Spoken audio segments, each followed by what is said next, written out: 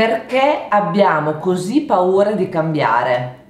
Perché è così difficile cambiare? Io stessa ho passato diverse fasi della mia vita dove avevo difficoltà a cambiare delle abitudini vecchie. Ma quando ho compreso quali erano le abitudini disfunzionali alla mia vita, al mio benessere e alla mia persona, in realtà ho iniziato piano piano facendo un processo e delle piccole azioni affinché potessi cambiare quelle abitudini vecchie e trasformarle in abitudini nuove. Quindi in realtà cioè, il cambiamento è trasformazione ed è assolutamente sempre in evoluzione. Noi siamo degli esseri umani in evoluzione, siamo su questa terra e in realtà stiamo facendo il nostro viaggio per migliorarci, per evolverci e passare sempre a degli step successivi.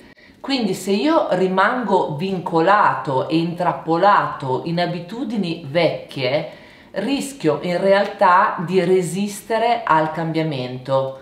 Ma resistere al cambiamento non è mai funzionale perché rischia veramente di crearmi una bolla di confusione, di depressione e di stati emotivi negativi dove passo tutta l'intera esistenza in una condizione di semplice sopravvivenza. Quindi capisci quali sono le abitudini che non ti fanno bene, quelle abitudini vecchie che ormai sono veramente diventate degli automatismi e piano piano inizia ad associare a queste abitudini vecchie una piccola nuova abitudine affinché quella nuova abitudine prenda spazio, prenda costanza e tu acquisisci la determinazione di portare questa abitudine nuova, funzionale per il tuo benessere, per la tua persona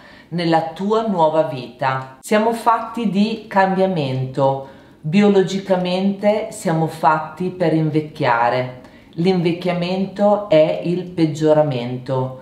Se io vorrò vivere in realtà una vita migliore, devo abbracciare il cambiamento e fare questo processo di trasformazione che mi renderà un futuro sicuramente molto più soddisfacente e molto più ampio e molto più ricco di quello che è ora. Mara Mussoni, coach e formatrice, aiuto e affianco le persone dando gli strumenti pratici affinché possano riprendere la loro vita nelle mani. Seguimi nei miei canali Facebook, Instagram e LinkedIn e se vuoi maggiori informazioni come acquisire consapevolezza attraverso un metodo specifico che ha aiutato tantissime persone, contattami in privato.